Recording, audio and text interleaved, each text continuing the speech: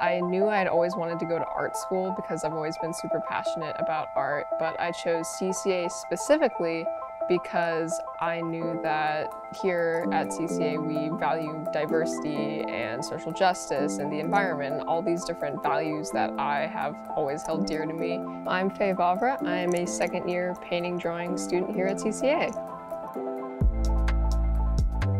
For me, scholarships have been one of the biggest blessings in my life, I've found. I knew for so long that I wanted to go to art school and CCA, but coming from a low income family, um, it's always been super hard to realistically imagine that for myself. It was so invigorating to just like feel so accepted here and feel that like all of my hard work had finally like paid off in a way that would help me foster this dream that I had had. I would tell CCA scholarship donors, first of all, thank you that your help and your support does so much for so many people.